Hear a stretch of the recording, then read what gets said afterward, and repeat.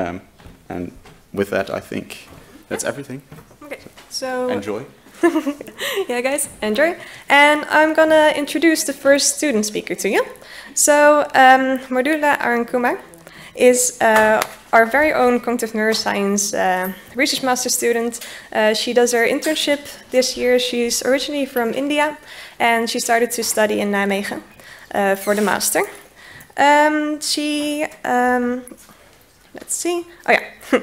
so considering how much we use language and engage in some form of music uh, activity every day. It fascinates her to discover the ways she can influence, she can, um, we can influence it uh, by each other, along with studying the different factors that enhance it. She will cover uh, more about uh, the connection between language and music in her talk. So please give her a big applause.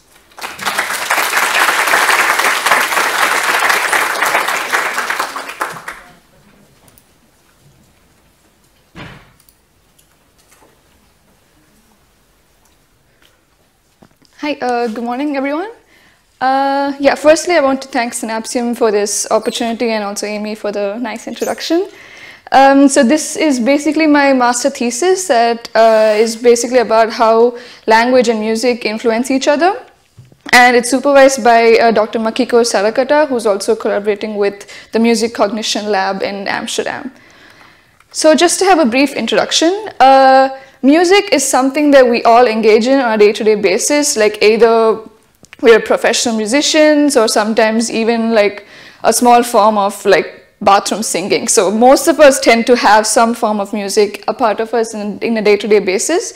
Uh, another thing that is also common in our everyday life is communication. So language is something that we also use every day. Uh, but to think about how these two factors that uh, happen to us on a day-to-day -day basis, to think of how they can actually influence each other is the basis of my talk today. And research has actually found that music has an influence on language, and there's also a possibility that it happens the other way around from language to music. So this is the core idea of my talk, and I'll proceed with just uh, background information about the whole uh, idea. So if you consider language and music, um, they they, they tend to have like different names, but then if you think about it, they're one and the same. So language and music uh, share a lot of features and the two most common ones that they share are rhythm and pitch. So if you think about rhythm in with respect to languages, uh, there's this concept called linguistic rhythm where each uh, language is characterized by uniform uh, time intervals that exist between successive units of speech. So that can be, for example, stress or syllable or mora time. So for example, in stress time languages like English or Dutch, there is a uniform time interval that exists between two consecutive stress marks. So that's the main idea with respect to linguistic rhythm. And as you all know, there is uh, an aspect of rhythm that exists in any form of music. So that's one way how language and music share the rhythmic feature. When it comes to pitch, there is this aspect called lexical tone. So that's when you have the pitch differences that exist in, in languages like Chinese, for example, which is a tonal language. So here, differences in pitch actually indicate a different word. So it's not necessarily like an intonation, but it gives a whole different meaning by itself. I can give you an example of how it sounds in Chinese. Ma, ma, ma, ma. So if you notice, these four are the exact same words, but given in a different pitch, and they actually mean four different things. So that's how tone is integrated in language. And then as you all know, there is a pitch aspect that occurs in music that indicates a high tone or a low tone. So this is one aspect that is common in both languages and music. But if you think about how these share these common features, there is also a possibility that they have overlapping brain regions. So for example, in uh, lexical and melodic processing, they tend to share the same cerebral structures. And also with respect to semantics, uh, it's the same uh, regions that process for both music and languages. And also uh, musicians tend to exhibit stronger activation in language related areas than uh, non-musicians. So considering how uh, these two auditory domains have a lot of overlapping features, it's interesting to know how they have an influence on each other, which is the transfer effect. So this can happen from language to music or also from music to language. So for example, if you have an expertise in one domain, there is a possibility that you can be better in the other domain. So for example, from music to language, if you have superior melodic skills, then you tend to have an enhanced perception or better pronunciation in a second language. But then if you consider from language to music, that's also been shown where uh, you see visible uh, enhanced pitch perception when you are a Chinese English bilingual or even a Chinese native speaker as compared to other non-tonal language speakers. So this is the whole idea of the transfer effect, which is also the backbone of our study.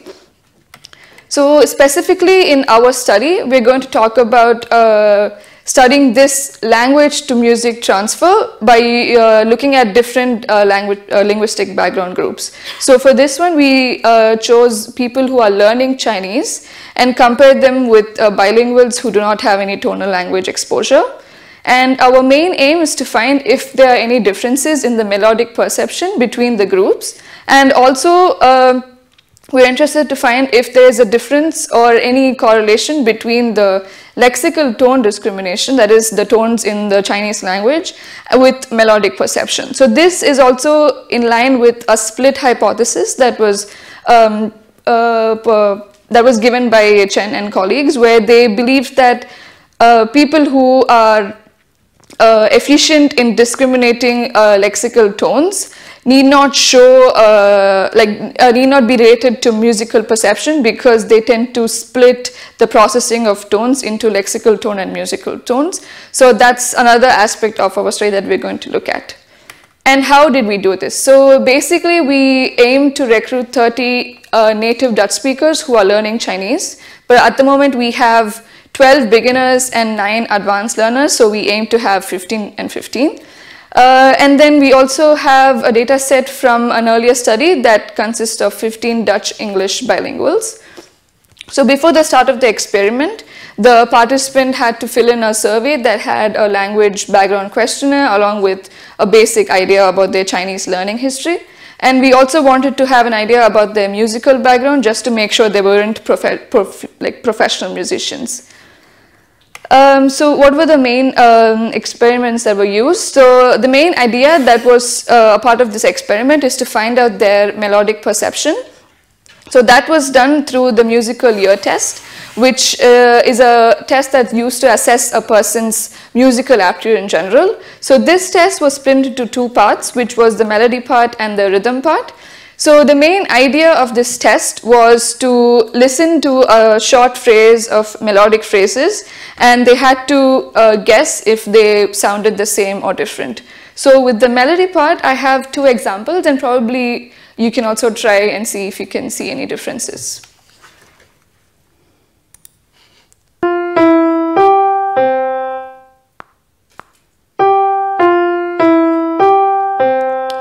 Okay, so the first part of this, this was cut. Maybe I can play again.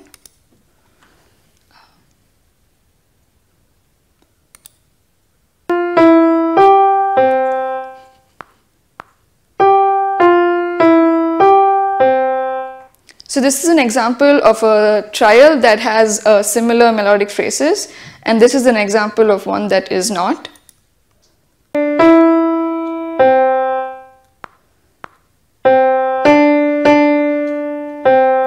So they differed only in one key and that's the difference that the participant had to find out and uh, predict if they were same or different.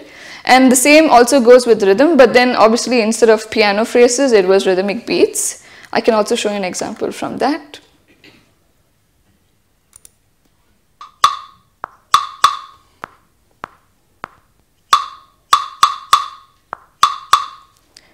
And this is uh, another example that showed differences.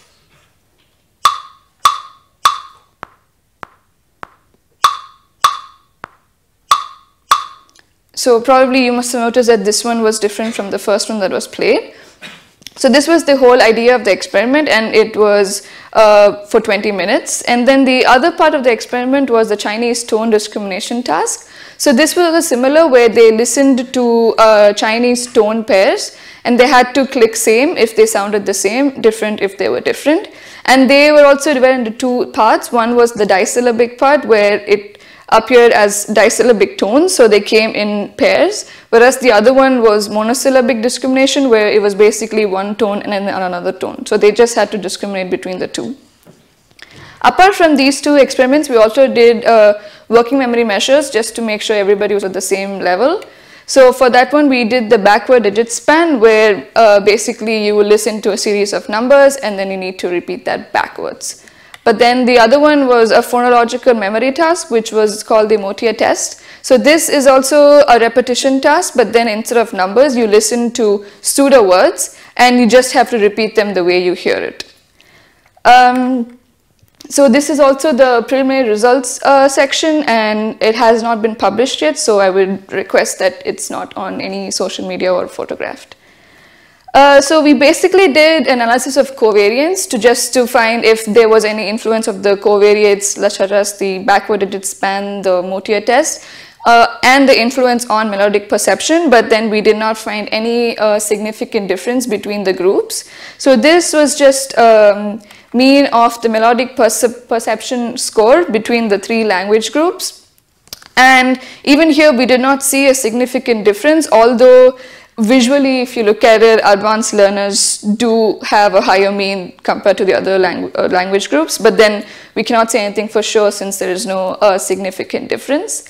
And then the other one that we did was to find out the influence of their lexical tone discrimination with respect to the melodic perception.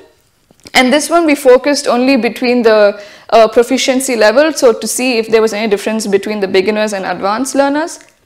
So in that, uh, this one shows the scores of the monosyllabic discrimination as well as the disyllabic discrimination. Uh, although there is a trend towards a positive correlation, it was still not significant. Uh, but then, interestingly enough, the trend was different for advanced learners, but at the same time, it was not significant. So we really cannot say anything. But possibly, uh, this moves in the direction that says that beginners uh, tend to not have the entire tonal exposure that leads them to perceive the tones similar to musical tones. So in that way, uh, there is a relationship between um, the tone discrimination and melodic perception. Uh, there might be a relationship, but then when it comes to advanced learners, they are already proficient in Chinese. That makes them um, like uh, like the ability to split the tonal in, uh, input as lexical tone and musical tone. So that's probably the reason that explains this trend, although it's uh, not uh, significantly correlated. So just to wrap up with the discussions, um, this uh, basically shows that there isn't a significant difference with respect to the melodic score when you compare the three language groups. But then at the same time, when you look at the uh, tone discrimination and between the proficient uh, learners and the beginners, you see that it goes in line with the split hypothesis that I mentioned earlier. So basically the split hypothesis tells that if you are a native Chinese uh, speaker, then you tend to split the processing of the tonal input as lexical tone and musical tone in a way that says that there is no uh, possible correlation that exists. So that was what uh, we saw in the previous slide where you did not see any correlation between the performance of beginners and uh, uh advanced learners with respect to melodic perception. So that is uh, an interesting finding that we saw from the study that they also replicate the same uh, behavior that is tend to be seen by Chinese native speakers as well. So that's an interesting one. But at the same time, these are just uh, preliminary results. As you see, we do not have the entire data set yet, but it tends to move in this direction. Uh, so with the final slide, I want to just put it up with this image where if you think about it, music and language is something that is integrated in even the smallest uh, parts of our lives. Like we like I'm pretty sure sometimes some of us tend to learn something with the help of a song or we just uh, compose it in a mode of singing. So that's in a way interesting to look at how these two domains, uh, although they are different and they exist independently, can have an influence on each other. So that's the message that I want to put across, considering the theme of the conference, that this could possibly be a new wave of investigation in the ocean of neuroscience. So thank you.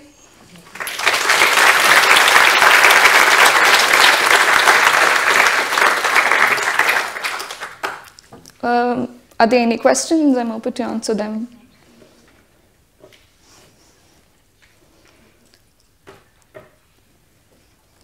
We don't have any microphones, so you can just speak out because everyone can hear people in the room.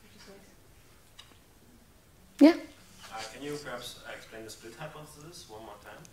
So basically, the split hypothesis uh, talks about how if you are a Chinese native speaker, then you do not have the ability to perceive the tonal input that you receive as a general acoustic input. You tend to perceive it as a lexical aspect that is only relevant to language and a musical aspect that's only specific to music. So if you uh, look at the uh, transfer effect, I think in the study by Chen et al., where they use this to compare between uh, Turkish English uh, bilinguals and also Turkish uh, monolinguals. So for in when you did the same analysis for people who do not have a language, a tonal language exposure, they saw a significant correlation between uh, their tone discrimination and the melodic perception. So that indicates that uh, the tonal input that they receive uh, is perceived in the same acoustic way that's uh, used to perceive any musical tone. So they just perceive it as music as a whole, which uh, shows that it's correlated whether it comes from a lexical perspective or from musical perspective, they tend to see it the same way. So that's why there is a correlation between the tone uh, discrimination and the melodic perception with uh, non-tonal language speakers, like Turkish, for example. Yeah? Yeah? Just out of curiosity, other than Chinese, what other languages have this tonal aspect? Um, there are other uh, Asian languages. I think uh, Vietnamese also has uh, tones in the languages, and then uh, one Indian language called Punjabi also has tones in the languages. So I think uh, they're from like uh, part of Asia. But then I also know that the Limburg is also a bit tonal. So. Yeah. Um, did, uh, I, I just thought that you found um, trends, but you couldn't find something significant. Yeah, that's right. Yeah. Okay, good. Yeah. I thought I missed something. no, no, no. There wasn't a significant difference.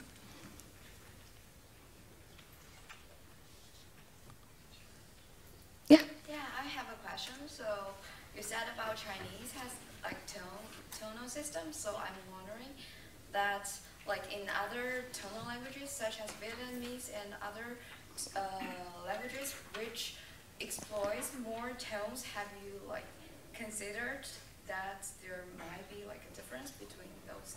I mean, tone languages. Would it be better to also have like a set of people who studies like other tonal languages? Yeah, that could also be interesting because I think uh, Chinese and Vietnamese also differ with the number of tones in their languages. So, yeah, that could also be an interesting effect to find. Maybe if you have more tones in a language, then you tend to have better ears to perceive melodic differences. So, yeah, that could also be an interesting thing to look at. Yeah. I, I heard that in Africa there are some languages which use clicking, like Yeah. or something like this. Um, do you know any results about those people? Whether they also have better melodic or better Mhm. uh, perception? Oh, that's interesting, but, but I haven't read anything on those lines. But yeah, especially considering the rhythmic influence, that could be the case. So yeah, it might be again interesting. But this is also, uh, I I mean, I don't want to say it's a new field, but then it's getting towards uh, uh, finding out the integration between the two domains. So that would possibly also lead in that direction, and maybe one day there can be a result in that line. Okay. Yeah. It might be a little off topic, but at the end of the slides you had this little caricature, caricature Mhm. um, where it says that uh, he only learns the alphabet by singing. Yeah. Do you know if there's like a scientific study uh, that learning actually enhances the learning? And if yes, uh, how does it work on a, on a neuroscientific basis? Basis? Uh, so you mean studies where they show music as a aid to learning? Yes. And if it works, if where's the neural basis for this? Uh, well, that's the like that's the main idea of studying the transfer effect because if you also notice in the background uh, slide, I mentioned that they have been evidences that show uh, language and music share uh, brain resources. So that could possibly be leading towards in that direction. Like for example, if you notice if one can influence the other, like for example, being proficient in a language can help you also learn music better, then that could indicate that there is some overlapping brain regions um, that share resources that can uh, like compensate one for the other, for example. So yeah, it, it can move into the direction, but this is just a behavioral study, so I do not have any like strong uh, opinion or like strong evidence that can say for sure that there is a brain uh, overlap region, but then it is a possible track because I mean there is a lot of studies that also show uh, like they study music independently with uh, without the influence of language. So that also indicates that there is a better like executive functioning and tends to move towards that side. So when you study both together then you can find interesting stuff about how they inter interact in the brain level. Yeah yeah. Yeah, I was wondering if there's maybe an effect that, like, when you learn a language later in your life, right, a different region of your brain gets, like, integrates the language. So it's not in the origin, like, when you learn your first language, it's in the language area, but sometimes the second language moves. So I was wondering if there's maybe um, that you didn't find an effect because the people learned the language too late in their life, actually. Well, yeah, that could possibly explain the effect that they did not have um, better melodic perception. But then, if you looked at the um, slide that explains the lexical tone correlation with the melodic perception, they performed similar to how uh, Chinese native speakers perform. So that uh, that shows that maybe like the ability to perceive lexical tones is similar to how native speakers perceive.